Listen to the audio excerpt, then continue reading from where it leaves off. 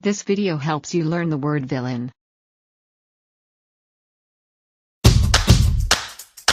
Villain.